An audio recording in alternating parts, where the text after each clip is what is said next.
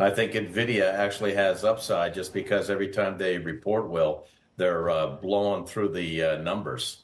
And so um, I actually have my favorite AI related semiconductor pick right now, bar none, because of their position in high bandwidth memory, HBM, is Micron. And then leading into this segment, you talked about Hynix, and Hynix is right there. I'd love to be able to buy Hynix, I just can't. And Samsung is ramping up, even though they were late to the game, this high bandwidth memory for AI applications. But Samsung will be in the mix probably within one to two quarters. But those companies should have a nice run. And I think NVIDIA uh, can go even higher just because the uh, numbers are so explosive. And every time they report their forecast, they're crushing them, but to the tune of 20 to 30 percent. So I do think there's some upside in NVIDIA, but my favorite pick right now is Micron or if I was in South Korea, it would be Hynix.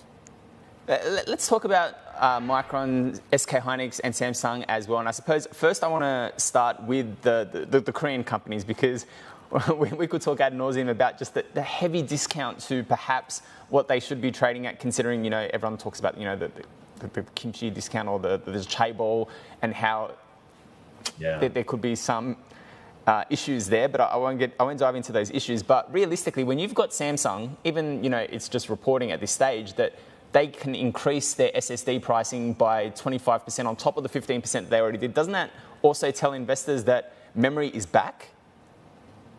Oh yeah, for sure.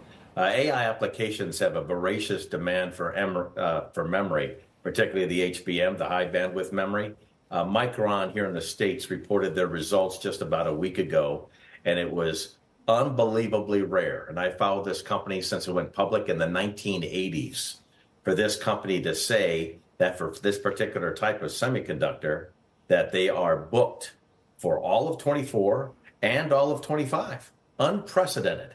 So if that is the good news from Micron, it is uh, Hynix will share it, and Samsung will share it too within a couple quarters when they close that uh, technology gap.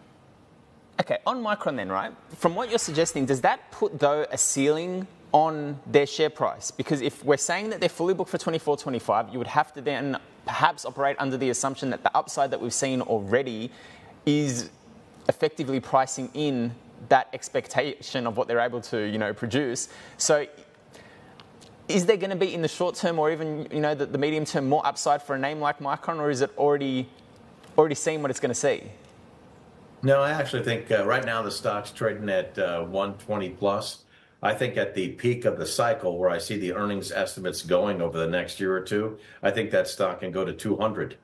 And so 120 to 130, all the way to uh, 200, still my greatest upside, even including NVIDIA of any uh, semiconductor stock here in the States or abroad.